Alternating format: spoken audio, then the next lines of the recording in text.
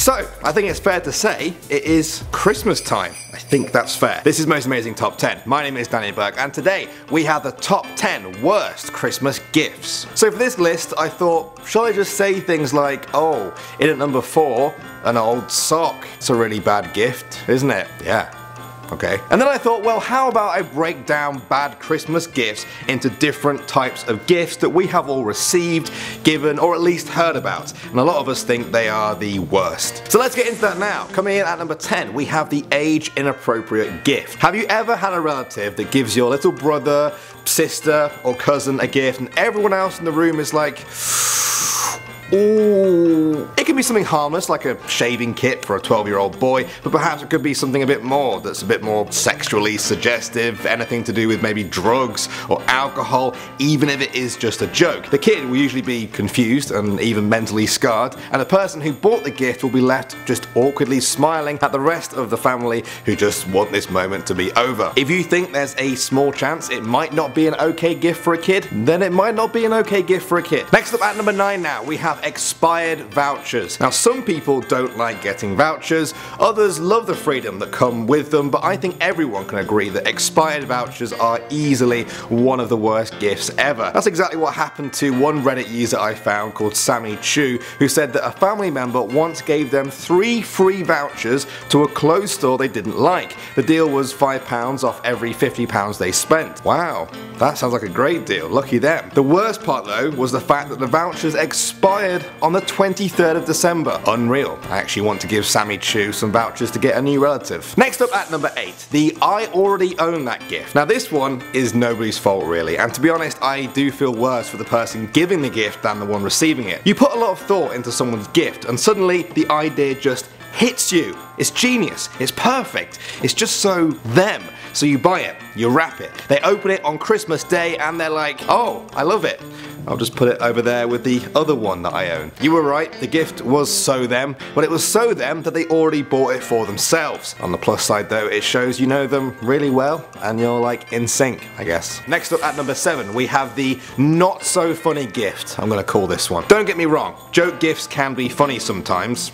I guess, if that's your thing. But I've heard stories about people getting a mankini or a naked apron and then they're like, oh okay, very funny, nice. And then that's it. That's the whole gift. That's everything. That's all they're getting. It's not even that they should be grateful or anything, it's the fact that they might wear it for maybe 10 minutes to please the person who bought the joke gift, and then that's it, forever. It never gets used again, bringing no joy to the person who bought it, none to the person who received it, and making the joke gift company start making even more for the next year. Okay, before I start sounding too much like a grumpy old man, let's move on to our number 6, the not quite right gift. Everybody has experienced this one before, either on the giving or receiving end of things. One person drops hints about how they would love to get a certain game, or maybe a book, a new phone, or a tablet. They open it up and, uh, oh, it's, yeah, it's, it's not it's not quite right. Maybe instead of getting the new Battlefield game, it's a knockoff called Battling Fields. Maybe instead of an iPhone, it's something called a MyPhone, or some strange looking console called the Playbox. Now I know what you're thinking. Oh come on, that's just spoiled of you. You shouldn't expect anything at all, and it's just the thought that counts, right? Well I agree with you, 100%, but it's also pretty rough for the person giving it. You tried to do something nice, you might have spent a fair bit of money on it, and now it's a bit awkward. But still, Nobody needs to be a baby about it, I guess. There are millions of people who don't get a gift at all at Christmas, so that's why this isn't higher on the list. Next up at number 5, we have the unwanted animal. We all know the saying, a dog is for life, not just for Christmas. It's a huge responsibility that a person takes on when they get a dog for Christmas. But what if the person never wanted that responsibility in the first place? You have to be 100% sure that the person wants the pet you are buying for them and has the ability to look after it properly. Best case scenario, you buy them a goldfish, I guess, you feed it well, give it a nice bowl of water, lovely stuff, everything's fine. Worst case scenario though, you buy them a greyhound in their one bedroom apartment. Oh dear, what have you done? If a person drops massive, massive hints about wanting a pet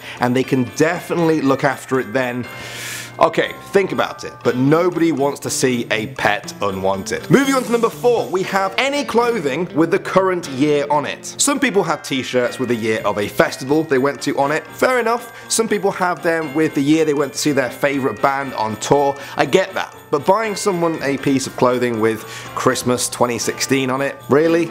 Kind of dates it. Hey, maybe I sound like a grumpy old man here, but I bet there's people out there who agree with me. If you buy somebody some clothing this year that has Christmas 2016 written anywhere on it, then it will be a bit of a waste of money in less than 24 hours. Sure, it might be funny to wear it on the day, but nobody is ever going to wear that again. Nobody's going to be sitting there in 10 years time thinking, you know what?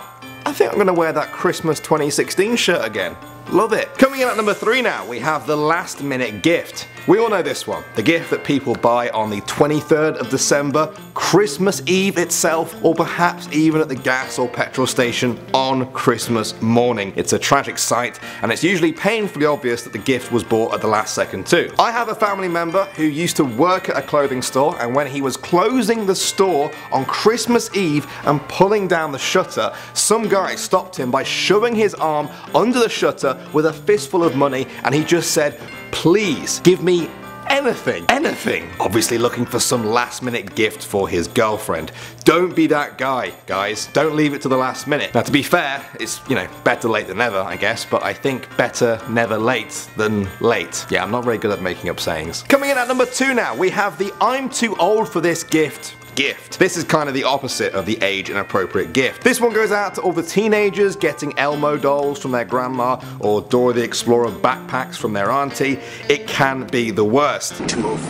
Usually they do mean well, it's just been so long since they were your age that they might not even know what your age really means. When you're 15, the difference between you and a 7 year old seems absolutely massive, but to a 17 year old, it might be harder to see that difference. So if your granddad ever gets you a Barbie doll on your birthday just two months before you go to prom, understand they mean well and they're not being, well, mean. And finally now, at number one, we have the re-gifted gift. Sometimes you get a bad Christmas gift like any of the ones we've talked about on the list so far. What you do with it next is up to you. You can throw it away if you want, but please don't turn it into the worst gift ever by re-gifting it to someone else you know. Now this happens a lot. Giving a gift to someone is supposed to be a personal thing or something you know you think is valuable. Sometimes a person gets a little gift, they don't really like it, they give it to someone else. Okay, alright, I'll let that one slide. But saving huge gifts from your birthday or the last Christmas and then giving it to someone else and passing off as your own, come on guys, I know you're better than that. Imagine if we all did that. It will be the same gifts just going round in a cycle every single year. It will be like a Christmas gift human centipede I hope nobody gets that reference. Well, that was our list of the types of gifts to avoid for all of you watching. This list was just a bit of fun guys. Obviously Christmas isn't all about gifts and obviously